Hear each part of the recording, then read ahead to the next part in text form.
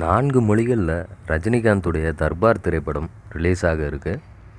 பேட்டா படத்துக்கு பிறகு ஏஆர் முருகதாஸ் இயக்கத்தில் ரஜினிகாந்த் நடித்துள்ள தர்பார் படப்பிடிப்பு முடிந்து கிராபிக்ஸ் இசை உள்ளிட்ட தொழில்நுட்ப பணிகள் நடந்து வருது.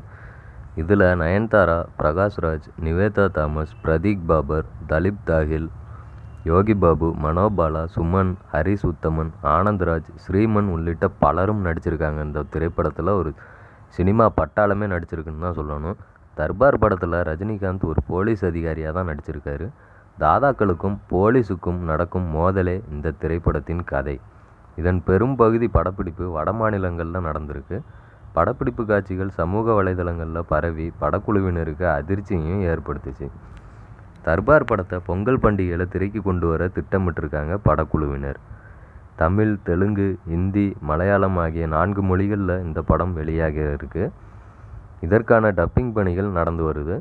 அந்தந்த மொழிகளில் உள்ள முன்னணி நடிகர்கள் இன்று மாலை ரஜினியின் தர்பார் தோற்ற போஸ்டரை வெளியிடுகின்றனர். அடுத்து சிவா இயக்கும் படத்தில் நடிக்க ரஜினி தயாராகிட்டிருக்காரு இதன் படப்பிடிப்பு விரைவில் தொடங்க உள்ளது. கதாநாயகியாக நடிக்க ஜோதிகா மஞ்சு வாரியர் கீர்த்தி சுரேஷ் ஆகியோர் பெயர்கள் அடிபடுகிறது.